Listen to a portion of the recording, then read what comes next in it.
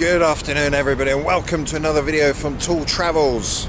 Now as you can see it's a beautiful day here in Lviv in Ukraine and I uh, thought I'd get the camera out and uh, just fill you in a bit on what my plans are for the near future. So yeah, weather-wise it doesn't get much better than this in February in Ukraine. It's something like 7 degrees which is quite balmy. Okay, so I just want to talk about this uh, war situation in Ukraine a little bit. I'm very calm to be honest. I mean, I'm not uh, watching the news too much, so uh, I'm not uh, freaked out by the hysteria and propaganda. So, to be honest, I'm um, the kind of person who treats serious situations lightly and uh, not so serious situations seriously. So, maybe that's something English in me, I don't know. So, I can imagine the situation if Russia does invade you know, maybe one morning I'll be uh, opening my curtains and I look outside and I'll be like, oh dear, the Russians appear to be here. I think I'm going to pack my suitcase and uh, make a dash for the Polish border. But if that option's not available, then maybe I have to go to the Carpathian Mountains and uh, hide out in a cave somewhere. So yeah, um, Joe Biden has made an announcement saying that uh, all Americans should get out of Ukraine now because if uh, the proverbial does hit the fan, then uh, America are not going to evacuate their citizens from Ukraine. Here we go. Ukraine's elite commandos.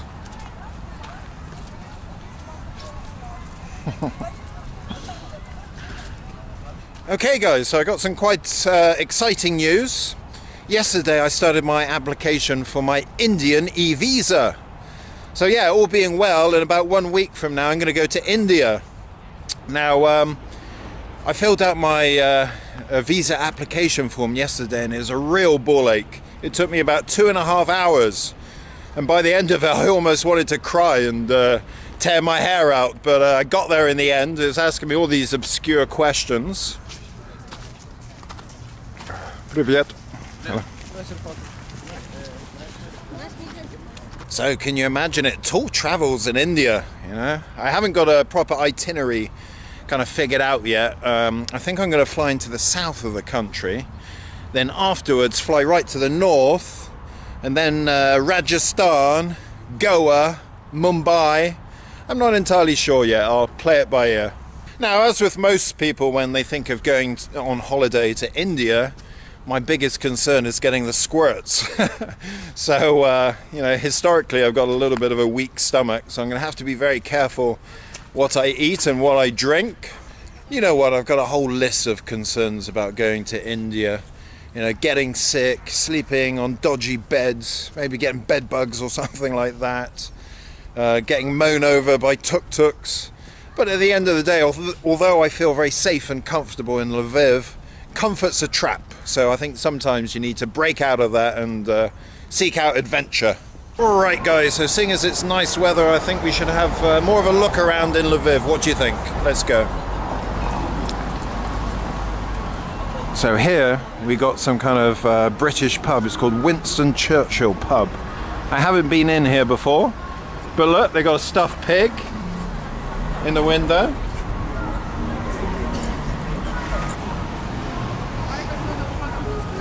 Oh, what we got here? We got another set shot down here. So look at this, they got 24 hour delivery. So you can't order a pizza 24-7 in Lviv, but you can order a maid's outfit. Wow guys, look at this. This is a serious reminder of the dangers of long COVID. So you might not die, but you could end up looking like this poor bloke. I mean, look, his lips moved down to his neck. If he had been wearing his mask, none of this would have happened. Now, everybody, in the past, this uh, building here was very important. You can see it says Cassi, and you have the symbol of the Ukrainian railways. So basically, uh, in the old days, if you didn't want to go all the way to the train station to buy a train ticket, you came in here in the city centre, which was much easier. So I remember in the early days when I was buying a train ticket to Kiev, Odessa, or something like that, I often came in here and there'd be a big queue. and you'd have to deal with uh, grumpy babushkas and stuff. So yeah, if we look uh, on the other side of the street, there's another empty shop there. So there's uh, a lot of empty premises in Lviv at the moment. I mean, nobody knows what's happening with COVID and war and stuff like that. So I think it'll pick up in springtime though when the tourists start coming back. Okay, everybody, so we've got a lot of uh, fancy hotels that have sprung up in Lviv in the last few years. This one called Gruner, I've never heard of it, sounds very German. And uh, yeah, it looks very fancy, so I can imagine it's pretty expensive. So, guys, I'm now outside one of the poshest hotels in Lviv. It's called Bank Hotel. Now, uh, last summer we had something of a tourism boom in Ukraine because uh, we had a lot of Saudi tourists coming to Lviv and other cities. Now, they came to Ukraine because it's one of the few countries they could enter because there's a lot of countries that, you know, were locked down last summer. So they were coming here and the people of Lviv were very happy because uh, Saudis, they like to spend the money when they're traveling. And a lot of them have never seen rain before. So, yeah, they were so excited to come to rainy Lviv. Now, also, a lot of these Saudi tourists were just staying inside their hotels in Ukraine and drinking alcohol because, of course, it's uh, forbidden to uh, drink booze in Saudi Arabia. Now, behind me, we have uh, Cat Cafe, and uh, I was just thinking what a great idea would be to uh, get a big dog and take it in there. That can be my next video. Tall Travels takes an Alsatian into Cat Cafe. So everybody, as we can see, some places in Lviv have still got the Christmas decorations up. So they think to themselves, well, they look nice, so why don't we just keep them up all year?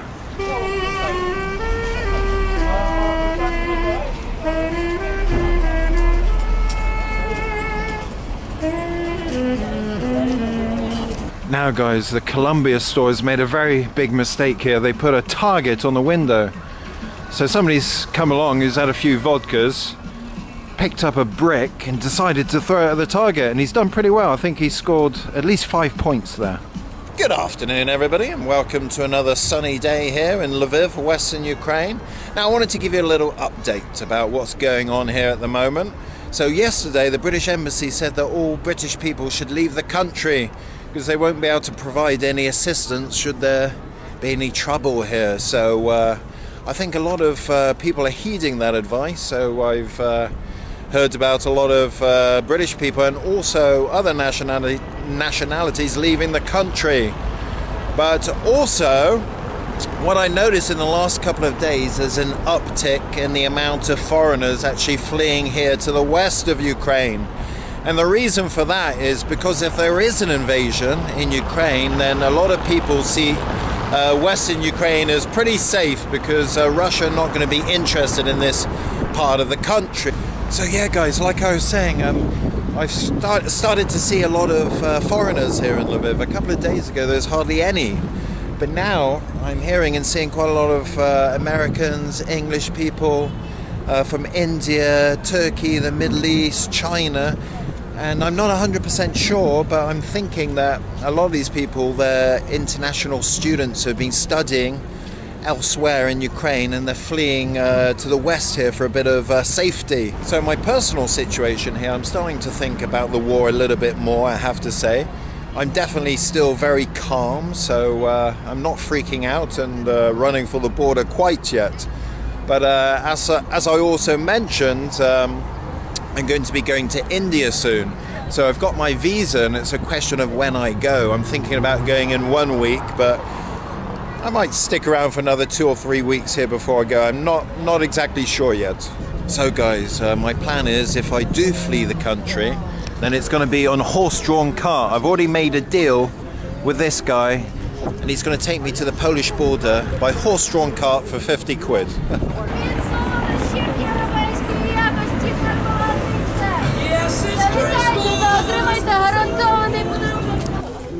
Wow, guys, look at this big queue for the aquarium today.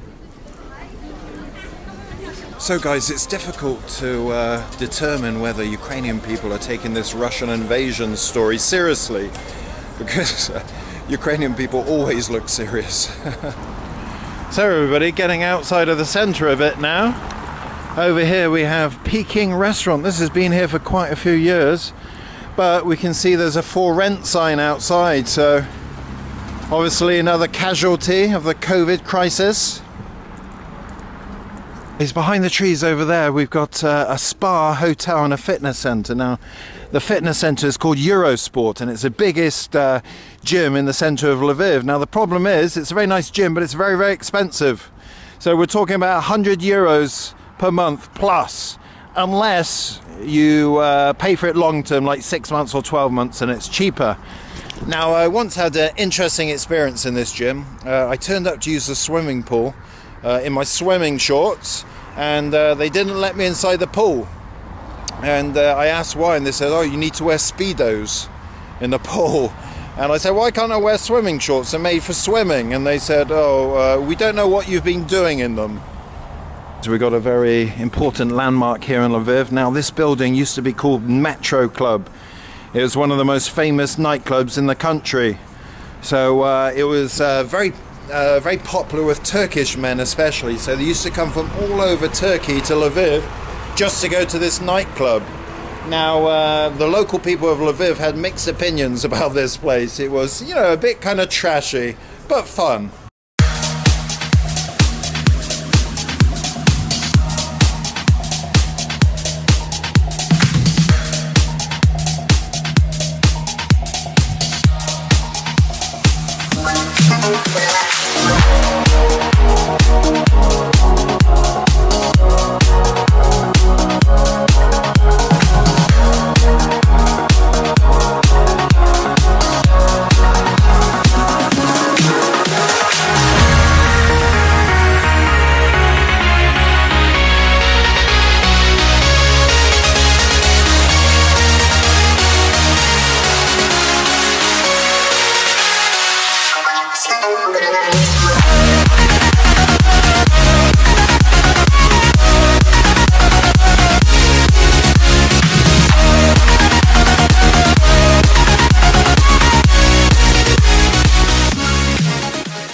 I can't be too nostalgic about Metro Club, to be honest. I mean, I did go there a few times uh, when I was at a loose end, but uh, definitely not one of my favourite places. So we're on uh, Zelena Street at the moment. We can see we've got a very beautiful building here.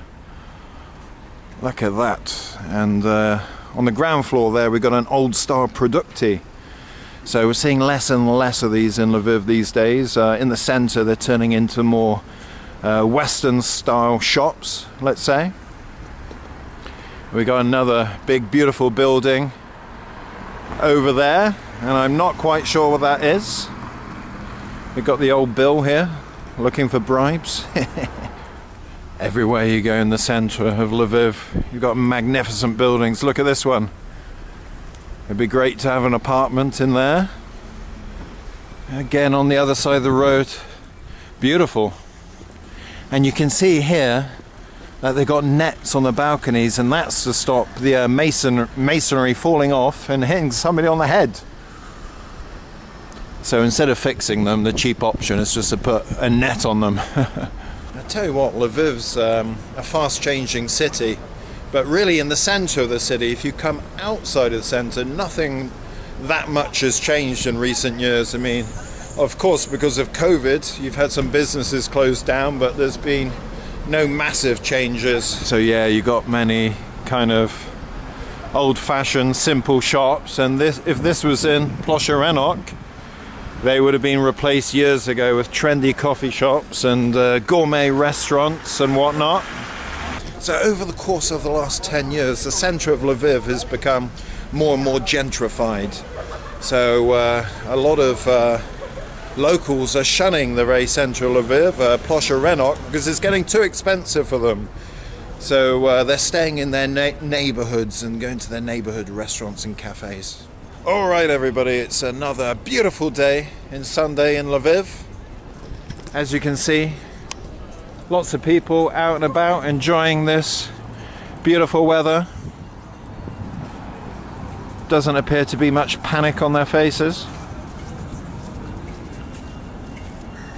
So, guys, President Biden of the United States said that Russia will invade Ukraine on the 20th of February, which is this Wednesday.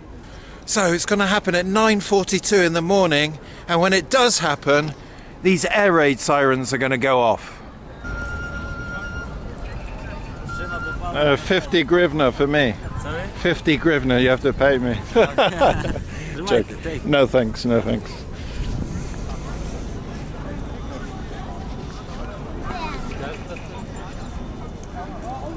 This girl dressed as a big bird, she's been working in this job for many, many years in Lviv.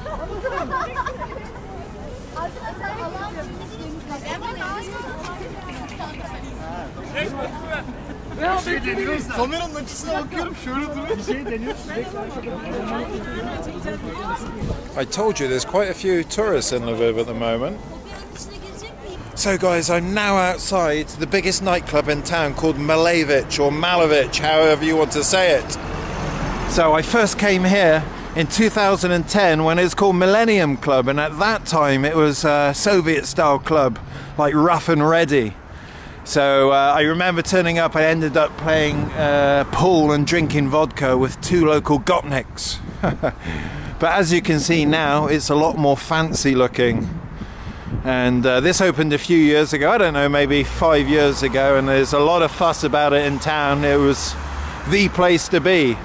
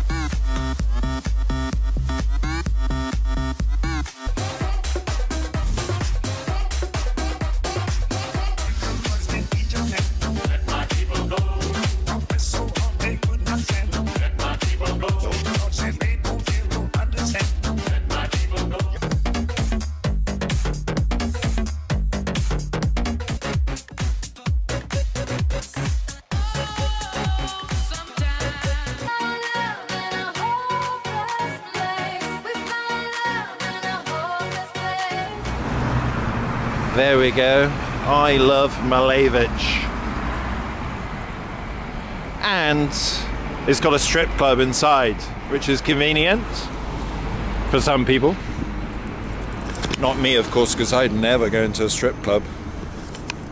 So I remember when I was at this club a few years ago, and I'd been traveling from Kiev, and I had my passport in my pocket uh, from taking the train in my jacket pocket. So I checked in my jacket to the cloakroom.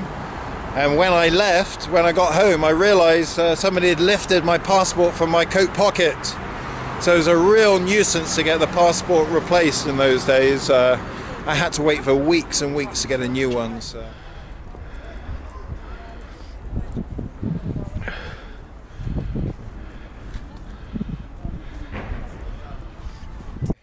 Okay, guys, I'm now at uh, a war memorial in Lviv, and this was built in the last few years to commemorate those uh, who died on Maidan in uh, 2014. So I believe this is the uh, Heavenly Hundreds as they're known. So we've got uh, pictures of these men and their names died defending Ukraine. Rest in peace. And here we have uh, a beautiful viewpoint to check out the uh, steeples and spires of Lviv.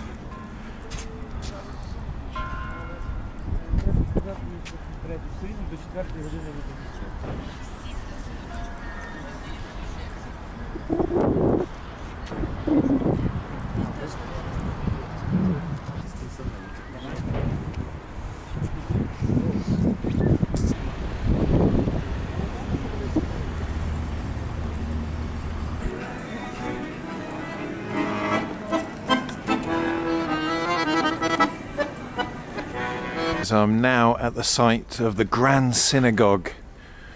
So uh, it was built in the middle of the 17th century and was reconstructed in the 19th century and was destroyed by the Nazis in August 1941. So you can see now it's a kids' playground. There's quite a few old red bricks lying around, presumably they were from the uh, synagogue. Here we've got some pretty cool street art.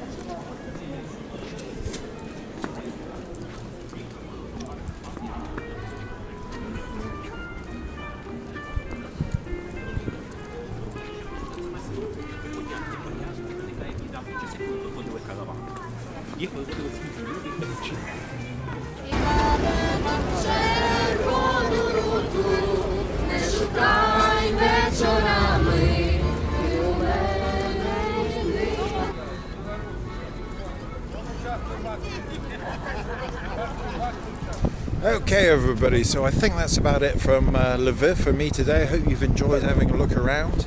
And in the next video, I'm going to be updating you on the situation here in Ukraine and also about my upcoming trip to India. So I'm not sure exactly when I'm going, maybe in about a week or so. So I'll keep you updated. So take care of yourselves and uh, bye for now.